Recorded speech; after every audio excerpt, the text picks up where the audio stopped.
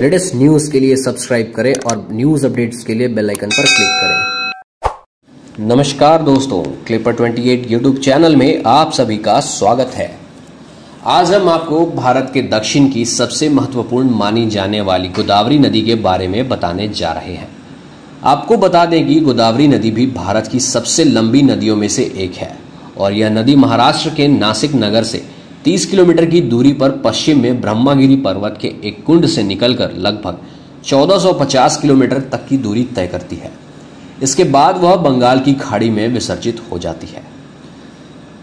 कुछ विशेषज्ञों के अनुसार इसका नामकरण तेलुगु भाषा के शब्द गोद से हुआ है, जिसका अर्थ मर्यादा होता है। एक बार महर्षि गौतम ने घोर तप किया था।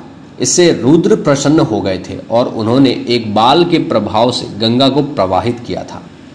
गंगा जल के स्पर्श से एक मृत गाय पूर्ण जीवित हो गई थी। इसी कारण इसका नाम गोदावरी पड़ा था। गौतम से संबंध जुड़े जाने के कारण इसे गौतमी के नाम से भी जाना जाता है।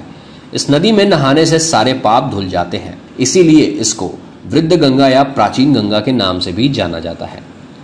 गोदावरी की सात धारा, वशिष्ठा, कौशिकी, वृद्ध गौतमी, भारद्वाजी, आत्रेयी और तुल्या आतिव प्रसिद्ध है। सात भागों में विभाजित होने के कारण इसे सप्त गोदावरी भी कहते हैं। आपको बता दें कि गोदावरी नदी भारत के चार राज्य, महाराष्ट्र, तेलंगाना, छत्तीसगढ़ और आंध्र प्रदेश में बहती है। इसके अलावा गोदावरी नदी केंद्र शासित प्रदेश पुडुचेरी के गाँव यनम से होकर भी गुजरती है।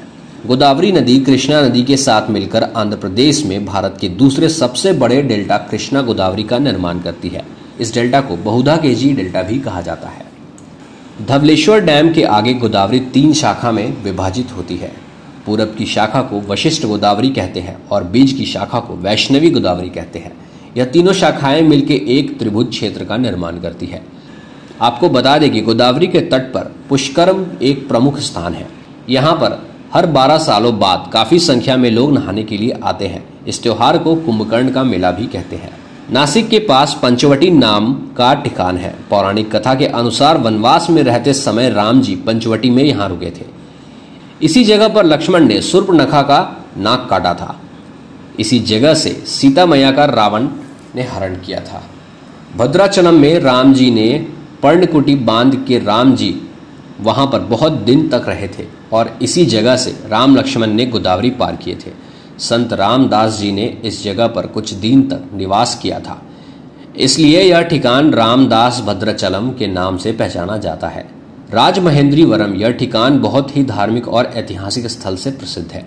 गोदावरी के तट के धार्मिक स्थल के कारण गोदावरी का पवित्र स्थान आज भी कायम है। मन की इच्छा पूरी करने के लिए भक्तगण लाखों की तादाद में उपस्थित रहते हैं।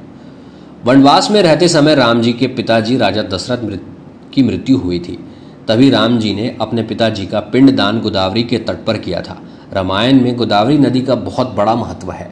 इसलिए गोदावरी नदी का पूरे विश्व में पवित्र स्थान है। For more news news do subscribe like share and comment clipper twenty 28